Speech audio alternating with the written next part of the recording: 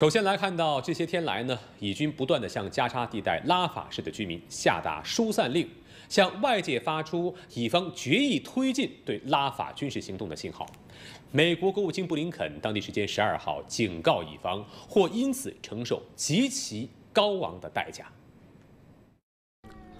艾哈迈德一家十口人在两个月前从加沙中部一路逃离到拉法东部，并在这里用帐篷搭建了他们临时的家。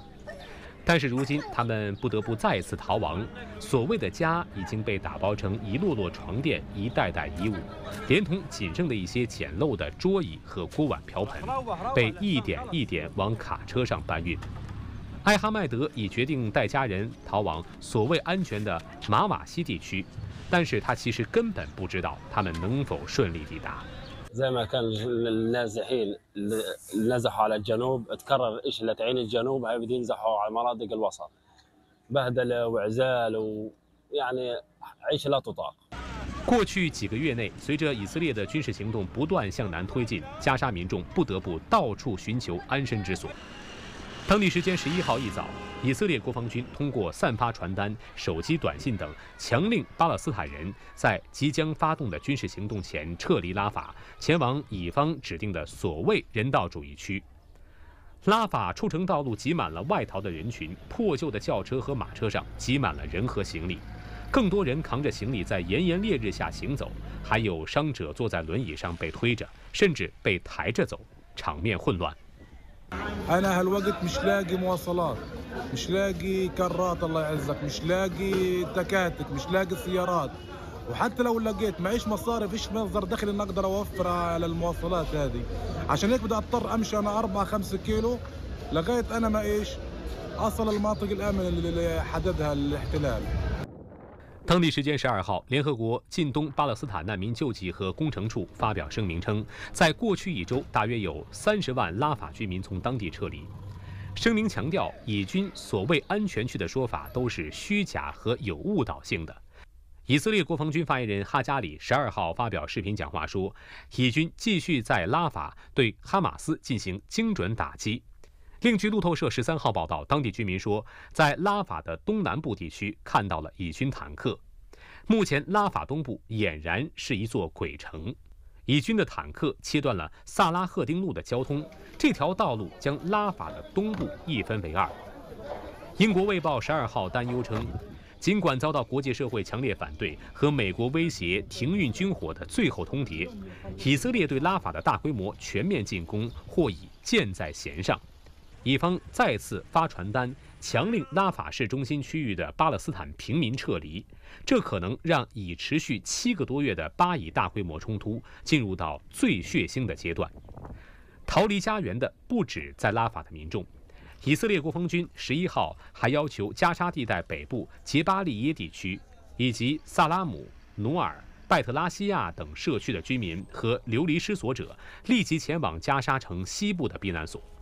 在下达撤离令之后，以军自十一号晚间开始对加沙北部杰巴利耶地区进行猛烈空袭。随后，以军地面装甲部队开始向这一地区推进。以色列战机进行一系列的空袭，袭击目标是杰巴利耶难民营地区西卡路上的住宅。袭击的后果是一些房屋被夷为平地。哈马斯下属武装派别卡桑旅十二号表示，在杰巴利耶与以军激烈交火。十三号，当地居民说，以军坦克正试图向杰巴利耶的中心地带推进。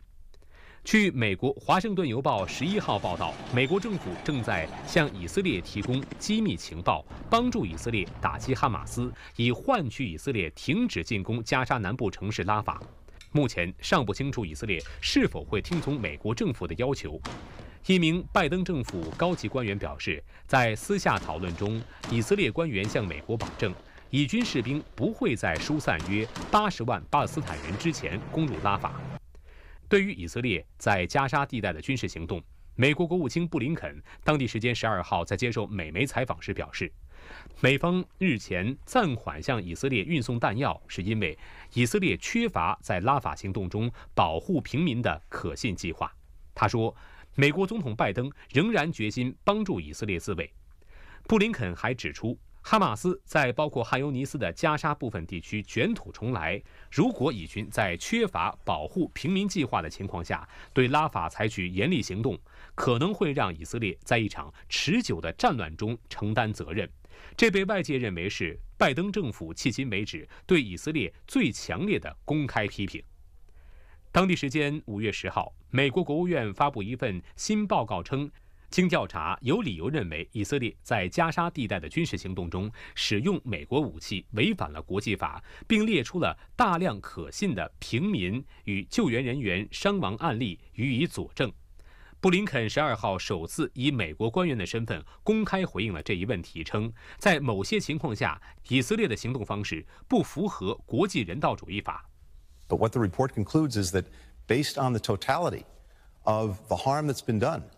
To children, to women, to men who are caught in this crossfire Hamas is making, uh, it's reasonable to conclude that there are instances where Israel has acted in ways that are not consistent with international humanitarian law. 而另一边，美国总统国家安全事务助理沙利文同一天和以色列国家安全顾问哈内格比通电话。根据美方公布的通话记录，沙利文重申了美国对以色列安全和在加沙击败哈马斯的坚定承诺。拜登政府正因本轮巴以冲突面临巨大的舆论压力。当地时间十二号，美国联邦参议员伯尼桑德斯表示，以色列已经对整个巴勒斯坦人民开战，以色列不应该再收到任何美国的军事援助了。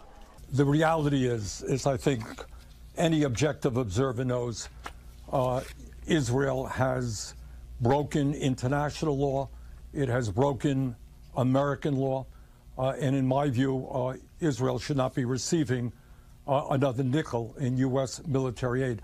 What Israel has done over the last seven months has not just gone to war against Hamas, it has gone to war against the entire Palestinian people, and the results have been absolutely catastrophic. I mean, Kristen, we're talking about not just 35,000 Palestinians dead and 77,000 wounded, two thirds of whom are women and children. That is not the way you conduct a war in a civilized society to the degree that war is civilized. 尽管拜登警告要暂缓对以色列提供军援，但分析人士认为，美国暂缓向以色列供武只是权宜之计，旨在缓解美国政府面临的国内国际舆论压力。那么，美国这样做实际上表明，美国要对以色列实施情报制裁。在目前的情况下，拉法。和整个加沙地区出现更大规模的人道主义灾难的可能性越来越大了。这种情况是美国不愿意看到的，美国也不愿意因为大规模的人道主义灾难被世国际社会孤立，被美国国内的老百姓反对。美国看到以色列越来不越不听美国的话了，所以美国先是。停止了高载荷导弹对以色列的出口，然后美国总统拜登又威胁，如果以色列打拉法，那么美国会停止所有的进攻性武器对以色列的提供。这说明，随着拉法战争越来越进入关键时期，美国和以色列的分歧不断的扩大，美国对以色列的制裁的力度和范围也不断的在扩大。好，来看俄罗斯方面。十二号，俄罗斯新一届的政府完成提名，研究经济出身的别洛乌索夫被提名为国防部长。分析就认为说，俄罗斯意在建立更高效的国防供应体系，做好长期博弈的准备。当地时间五月十二号，俄罗斯总统普京改组内阁，提议任命前第一副总理安德烈·别洛乌索夫为新一届国防部长。有分析认为，别洛乌索夫的任命是最大的意外。他曾担任俄经济发展部长、总统经济顾问。二零二零年一月出任俄第一副总理，可以说是一名专门研究经济的文职官员，没有军队服役的经历，并不以战场知识著称。对此，俄总统新闻秘书佩斯科夫专门出面解释。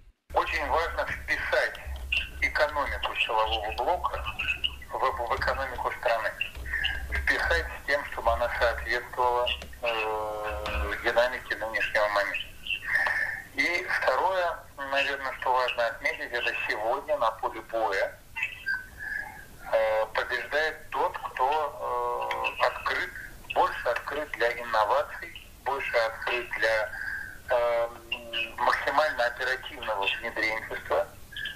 Э, и поэтому, естественно, что на нынешнем этапе президент принял решение, чтобы Министерство обороны возглавил гражданский человек.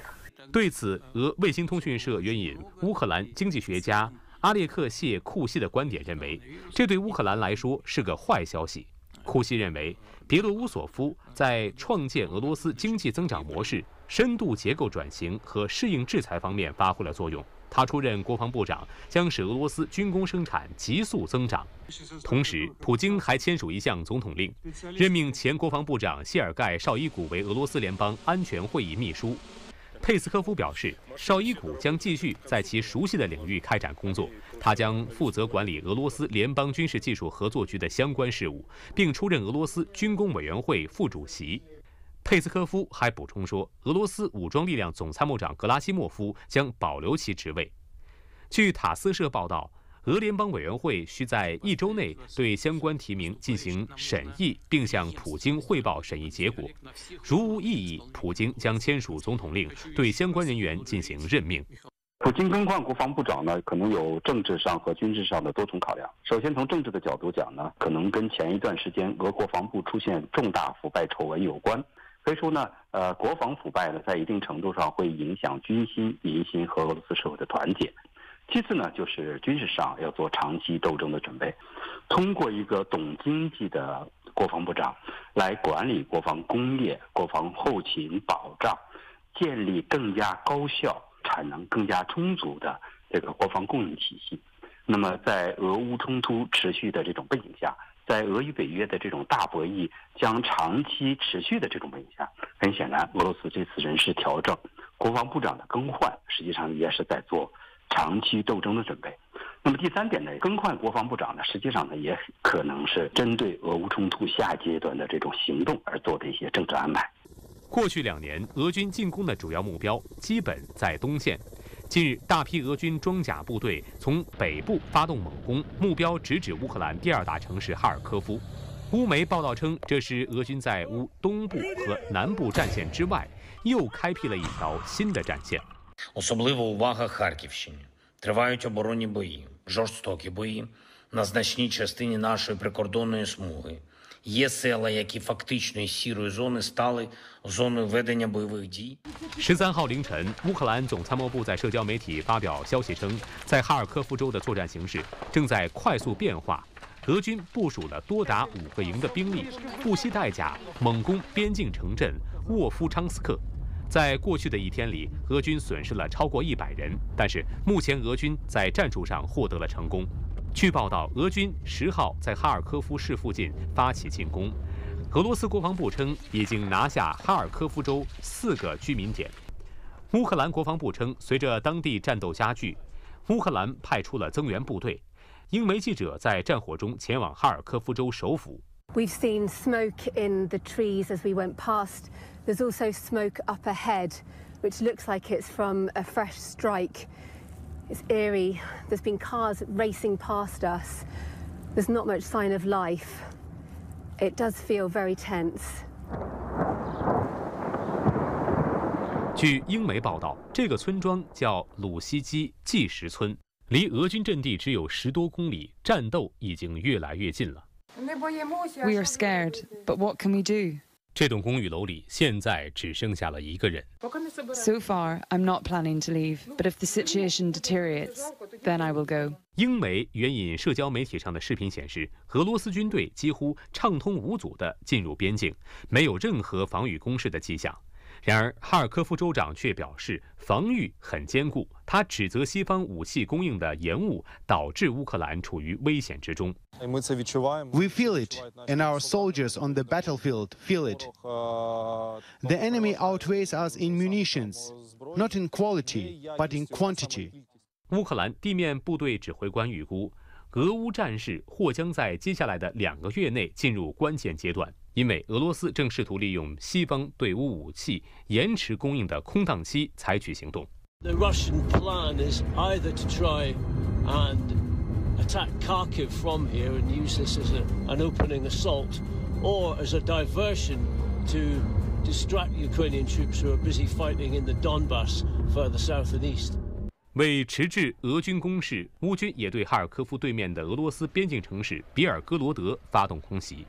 十二号，据俄强力部门发布的消息，袭击比尔哥罗德市的乌军导弹是从位于哈尔科夫州的卡扎奇亚洛潘地区发射的。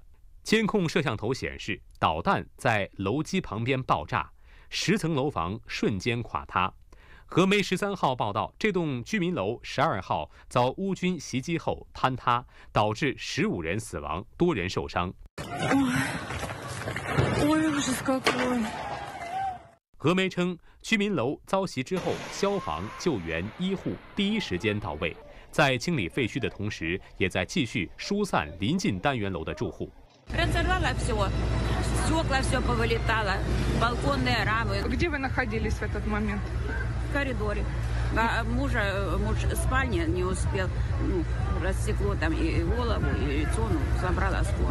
十二号，俄方指控称。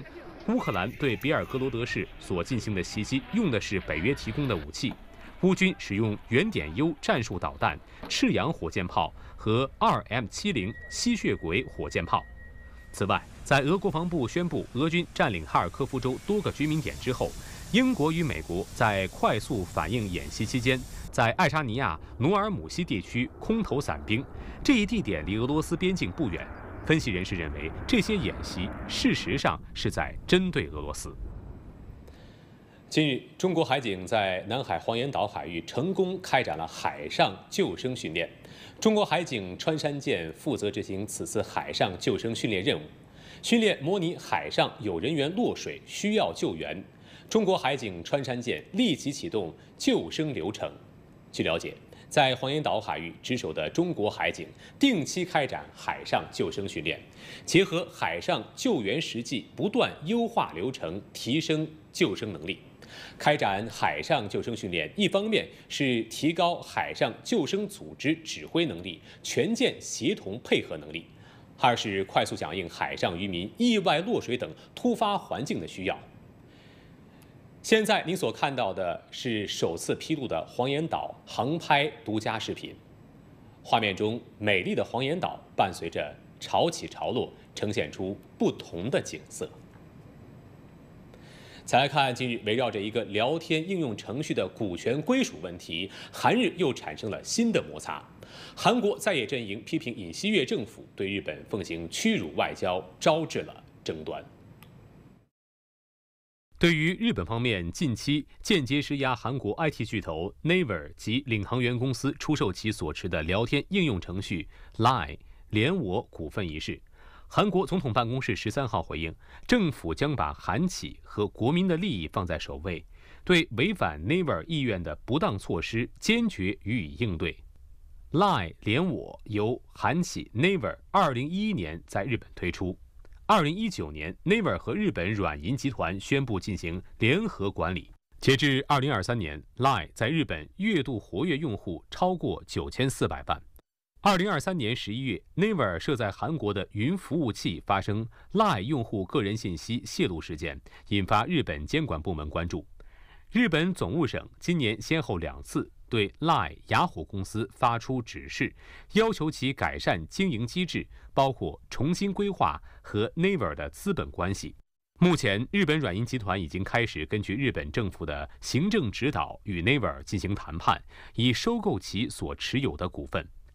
韩媒称，有日本政府和执政的自民党做靠山，软银对于股权谈判主动权是志在必得。日本总务省也要求在七月一号以前提交政府能够接受的资本结构改善方案，不断对韩企施压。次回の報告でどのようにご報告いただくのかしっかり確認をしていきたい。对此，韩媒称，韩国企业被外国政府的行政指导意见逼到墙角，这种情况是史无前例的。韩日之间发生外交争执的可能性日益凸显。 韩国国内反对舆论也日渐高涨，在野阵营一致批评尹锡悦政府对日本奉行屈辱外交。윤석열대통령은일본총리냐고울부짖는국민의분노가들린다면모든역량을동원해 일본의 대한민국 경제 영토 찬탈을 저지하기 바랍니다.